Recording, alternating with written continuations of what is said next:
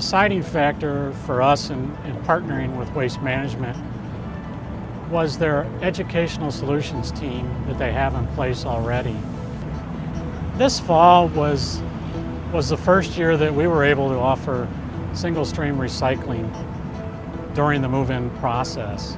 One of the first steps we took was to, to work with the Education Solutions team, partner with them in developing a, a presentation, educational presentation that we could administer to, to our facilities employees and have them fully trained on the single stream program and the importance of it and be able to convey that message to the university as a whole.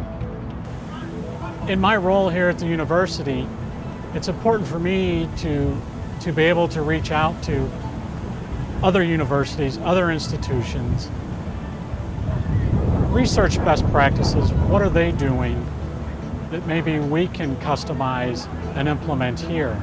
This educational campaign is, is born out of a strategic goal that, that we have as not only a facility services division, but, but the university as a whole, to, to really divert as much recycling that we can from the landfill.